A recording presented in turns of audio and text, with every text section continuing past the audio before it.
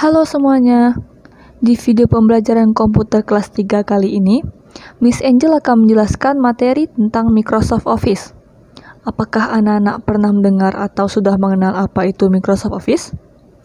Kali ini Miss akan menjelaskan mengenai Microsoft Office mulai dari pengertian, perkembangan, dan jenis-jenis Microsoft Office yang umum atau sering digunakan. Yang pertama adalah pengertian dari Microsoft Office.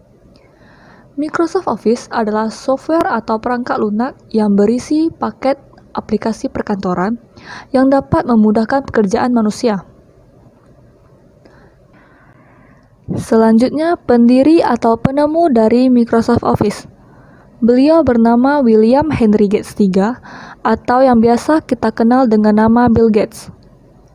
Beliau lahir di tanggal 28 Oktober 1955 Tempatnya di Seattle, Washington, Amerika Serikat. Total kekayaan dari Bill Gates mencapai 1013,3 miliar US dollar. Organisasi atau perusahaan yang didirikan olehnya ada Microsoft Corporation, Bill and Melinda Gates Foundation, Terra Power, The Giving Pledge, Keris, Berkshire Hathaway, dan Cascade Investment. Berikutnya perkembangan Microsoft Office. Microsoft Office pertama kali diluncurkan pada tanggal 30 Agustus 1992. Versi yang pertama adalah Microsoft Office 3.0. Selanjutnya adalah Microsoft Office 4.0, 4.1, 4.2.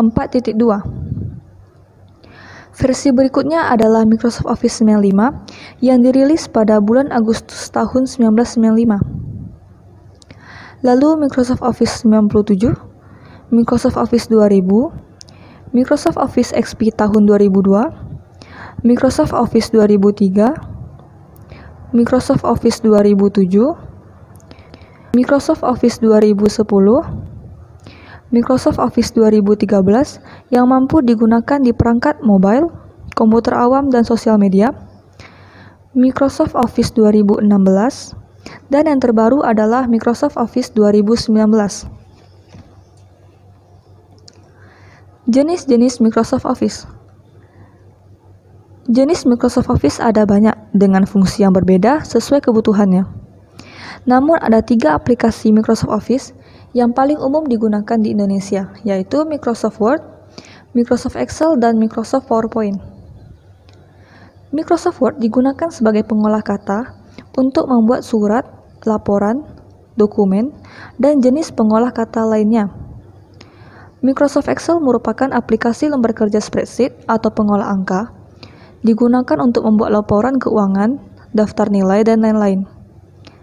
Microsoft PowerPoint merupakan aplikasi yang berfungsi sebagai media presentasi yang digunakan dengan cara membu membuat tayangan slide yang terdiri dari teks atau objek lain yang dapat ditampilkan pada layar slide. Itu saja yang bisa saya jelaskan. Terima kasih dan sampai jumpa di video pembelajaran berikutnya.